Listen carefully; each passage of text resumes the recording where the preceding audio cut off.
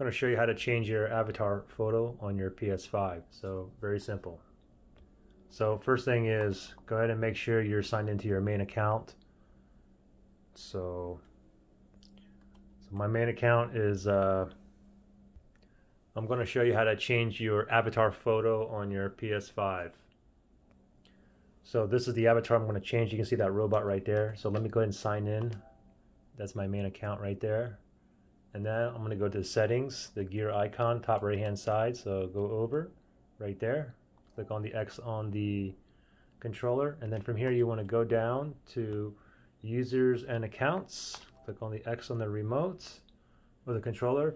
And then from here, we want to stay on account and we want to move over to the right. And then we want to go down to profile right there. Click on the X. And now we want to go down to avatar. Okay, so you can go ahead and you can go up here. You can do all of them. You can go ahead and just do a bunch of searches here. I'm to go ahead and change mine. I'm just going to do the Spider-Man, this one right here. Click on the X. And then there you go. Now if I go ahead and go back home, you can see the little Spider-Man up here.